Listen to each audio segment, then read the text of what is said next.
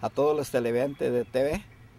Eh, un saludo para las madres de Mercedes y por qué no decirlo para las madres de la mancomunidad del Valle de Sencenti. Y a ustedes también, buen día. ¿Quiere compartirnos acerca del motivo de su visita aquí a la ciudad de San Marcos, Ocotepeque? Bueno, venimos a una reunión de trabajo de la mancomunidad Mambacén y eso es que quizás ya venimos tardecito también.